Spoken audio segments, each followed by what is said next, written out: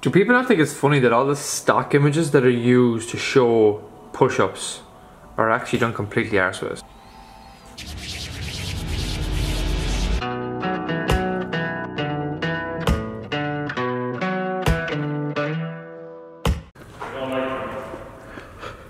So we're just getting set up for a Doc Fitness promo video.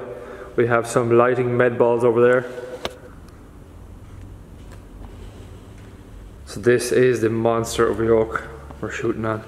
Little LED light at the top there. It's classic. That yoke over there is wrapped around. You can see it's a curved LED light. And this is where I'm going to be shooting from the start, just letting people know basically what Doc Fitness is all about and having a chat about that so we can get our promo video flowing. And uh, for the first time on camera, I'm actually a bit nervous. Back in Doc Fitness headquarters after a couple of hours getting some stuff done for my new video series I have coming out online. And today we have a full coach session going down. James and Kate don't say anything, and I'm going to try and use this contraption as well, which is a stabilizing machine, which I cannot wait for.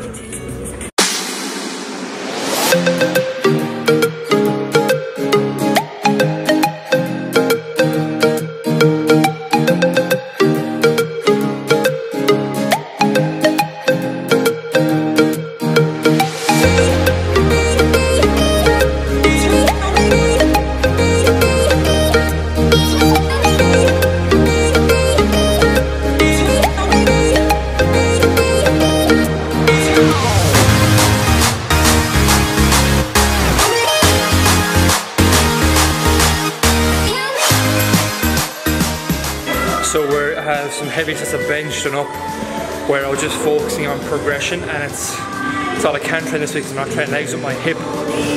So I kind of felt like I was doing nothing the last couple of days. It's been shit really.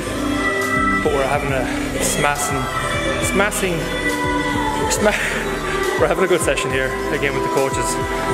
Second time this week, which is unheard of for us. So we're enjoying it while it lasts because, as I said, the last vlog we kind we don't really get together as often as we want.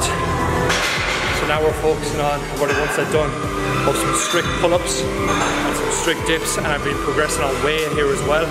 So we're going to keep the rep, uh, reps around 8 to 10. I think I'm going to keep the sets low again, only around 4 sets because we're, we're focusing on intensity here rather than volume.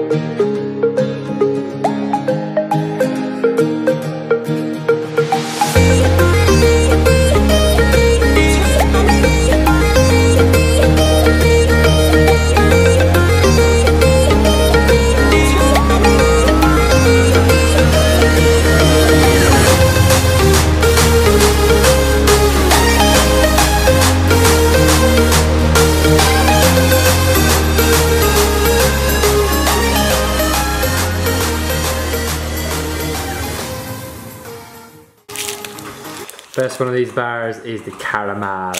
Another big day put down for moving Doc Fitness forward. Had a great crack earlier on shooting a promo video and it was nice to kind of see back with the progression of where we've come as well. And Dave, the photographer, is actually in the gym, so it was actually nice to get his input and view of kind of where he started and kind of the doubts he had about joining and where he went to. And oh, it's just brilliant to see it like that. Like so, we had a nice training session with the coaches. Had the coaches meeting afterwards, some coaching after that myself, and then we were doing some stuff. I was doing some stuff in the coach's office, but I'm back now and I'm doing some more system stuff because Kate's off to work again. And like I said in my last vlog, this is the time where I just go into overdrive at work stuff and get a shitload done. Um, rather than chilling out and watching Netflix for the evening, this is what I prefer to do. Um, I don't know, it's just a drive in me, I suppose. But I'm committed to getting where I want to go, and that's basically it. Like it's the same with my same with my health, my fitness goals, if you like. Um, I put the exact same into the business side of it all. But we're back in here and we're after getting about, I think, four these, Kate, from right? Wedding planners. So, I'm to officially tick off the first one.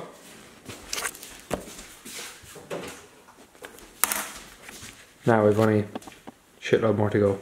But I think that's today's blog or vlog more or less complete. Take a look back where you've come up to now with your training, with your health and fitness stuff, with any level of progression you've had, just kind of appreciate the small things because too far and often we kind of look forward to where we're going and we kind of get pissed off if, if, we if there's a, a roadblocker in the way or if there's an obstacle in the way, if you're training and you get injured right now like, like I am, if you're trying to go for a higher level job or something like that and things are just not working out perfectly, they will for a finish. Some days you're going to be tougher than others, some days you're going to be down the dumps thinking about things but take stock of where you are right now. Look back to kind of where you've come from. Like it's probably huge. If you started working out in the gym, the fact you took that first step to get in the gym and to start training is massive. Look back to where you started then.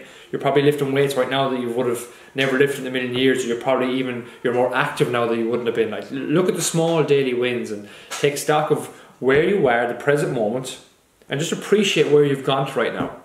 And don't get fixated too much on looking in the future. Just follow the process of getting to the next step, getting to the next step, and going from there. Focus on the here and now because if you lose sight of that, you get you get pissed off in your days. It'll brush off on the people, and then it'll brush off in your training. It'll brush off in your health and fitness stuff. So that's a little tip with that because today was a really big eye opener for me in in how far Doc Fitness has come and how many lives we've actually changed with Doc Fitness. Because right now, as I'm speaking, Doc Fitness is where we want it to be we don't want it to grow technically any bigger with its member base because we're looking after and giving value to the members we have and really drastically changing those and really getting the results that we say we get because at the end of the day if you're, if you're not if our members are not getting the results it means jack shit for them like so I'm to cut that vlog here because there's nothing more to say with it but made that taco fry recipe again last night and tonight I have a shitload of calories left.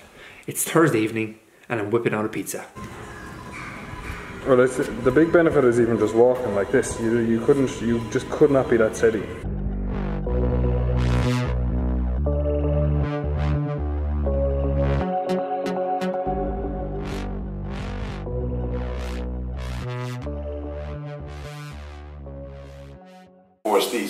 Okay. So, so while I'm watching two of my favourite lads at the moment, Eric Thomas and Gary Vee, I'm nearly 80% way through cooking a meal and I realised that I was supposed to put on a pizza. This is the problem when you have good habits ingrained. But this is what I want.